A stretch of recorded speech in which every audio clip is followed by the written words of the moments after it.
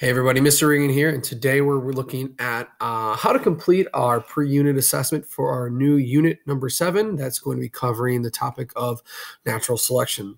So a few things. Number one, remember that these this pre-unit assessment is all about seeing what we know and don't know about this upcoming unit, and kind of seeing what sort of things we're going to be learning about and skills we're going to need to uh, to have to be successful in this unit. On top of looking at those things, we're also going to be looking at um, what I can do to make sure that I hit on the things that maybe we don't know a lot on and make sure that we don't spend a lot of time covering things you do. So we're going to obviously focus on that as we go through this. And then we're going to also look at how to complete it and the resources available to you so you can kind of go through and problem solve through each of the different questions uh, that you're going to see. So on the page itself, you're seeing there's going to be three tabs. One's going to be the multiple choice questions.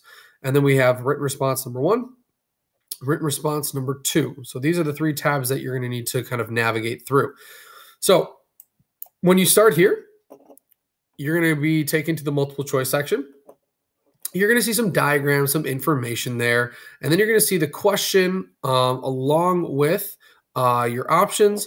And then up here, you're going to see a uh, play button that will actually read not only the question to you, but also um, the uh, selections for A, B, C, and D.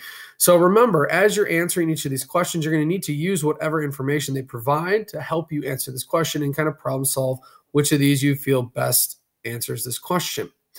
Now, if you notice at the very bottom, we have some numbers here. Those represent the number of multiple choice questions that you're going to be completing.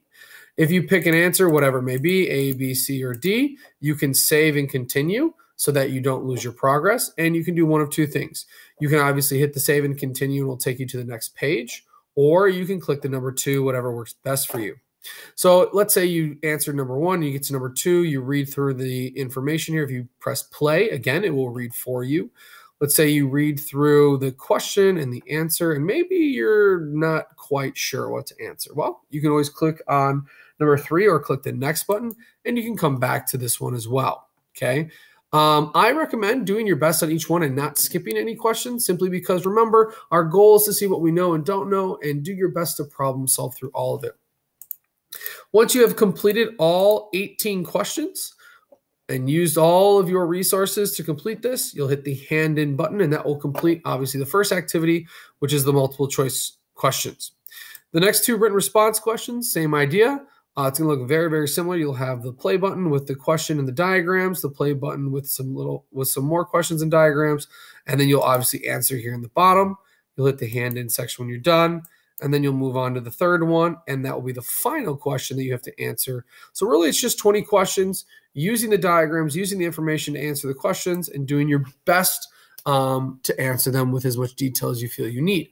Make sure you hand in all the sections, and that's how you complete the pre unit assessment. If you have questions, reach out to me. Otherwise, good luck.